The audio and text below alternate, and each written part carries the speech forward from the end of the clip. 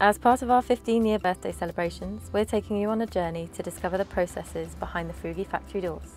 Join us behind the scenes to uncover tailoring. Hi, I'm Josh. I'm the technical manager here at Frugi and I manage the technical and quality teams. My teams work really closely with the factories not just in India but all over the world to create the beautiful Frugi products.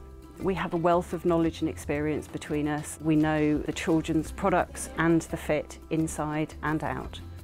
When creating new shapes for each season, our garment technologists work alongside the design team to decide the details and the fabric needed to create your next Frugi favourites. Once these are decided, the team use their in-depth knowledge to give the factories all the measurements to create the garments. With this information, the pattern masters make either hand-drawn patterns or CAD patterns ensuring that all the measurements and details are correct before cutting the fabrics. The tailors then take over and piece together our gorgeous organic cotton garments.